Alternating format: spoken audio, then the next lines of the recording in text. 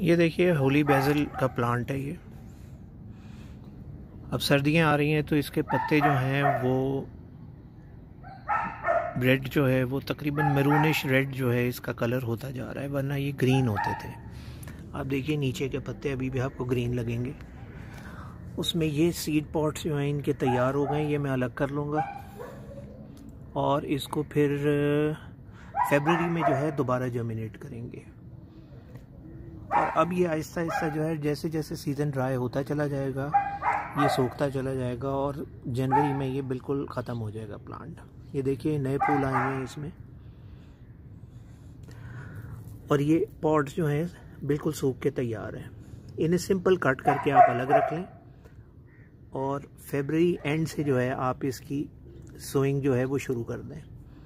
तरीका वही है सिंपली आप मट्टी लें, ऊपर स्प्रेड करेंगे क्योंकि सीड बहुत छोटा है इसका तो सिंपल स्प्रेंकल कर लें मट्टी के ऊपर और ऊपर कोकोपीट की एक लेयर देते हैं ताकि मॉइस्चर रहे। बस, और आपने कुछ नहीं करना इसमें।